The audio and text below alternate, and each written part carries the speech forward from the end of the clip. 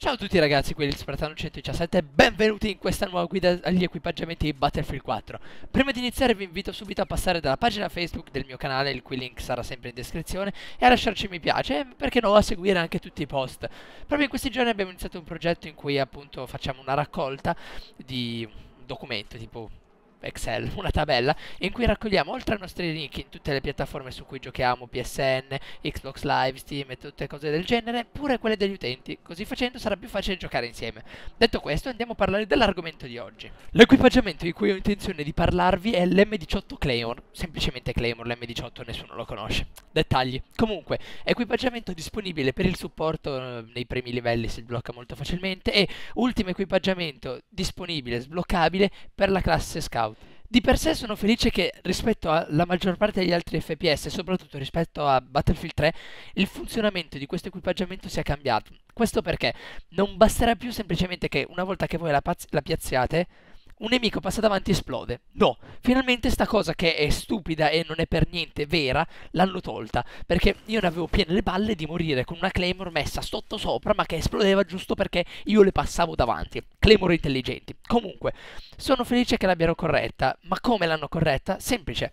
Facendo in modo che quando la piazzerete partiranno fino a tre eh, fili tipo, eh, corde, non so come identificarle delle corde che si impianteranno dentro eh, del, dei muri, per terra, dentro qualcosa, effettivamente dentro qualcosa, non importa cosa, e la Claymore esploderà soltanto qualora un nemico ci passerà e romperà sto collegamento, passerà nei cavi, nei fili, effettivamente così funziona. Ovviamente se tu le spari esplode, mi sembra scontato e vi farete anche il danno. Comunque in ogni caso le clip che vedrete in, in sottofondo dovrebbero essere abbastanza esplicative, dovrebbero spiegare bene quello che sto cercando di dirvi a parole. In ogni caso questo è il modo in cui funziona, ossia non basterà più che uno ci passa davanti, boom, ma bensì dovrà interrompere il collegamento ai cavi.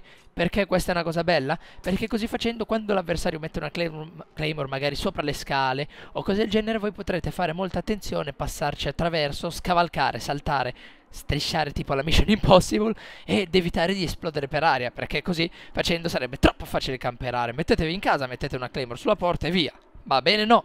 Ebbene no. Va bene, no, cosa vuol dire? Comunque, ebbene no, in questo Battlefield non si potrà più. Quindi lascia anche uno spiraglio a tutti coloro che vorranno stanare dei maledetti camper senza lasciarci la vita per Claymore moleste. Detto questo il video volge al termine, spero che questo video breve ma intenso sia stato di vostro gradimento e che vi abbia illuminati nel caso in cui voi non foste a conoscenza del vero funzionamento delle Claymore.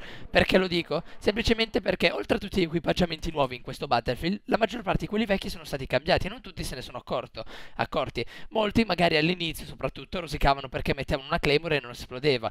E beh, il motivo è proprio questo qui.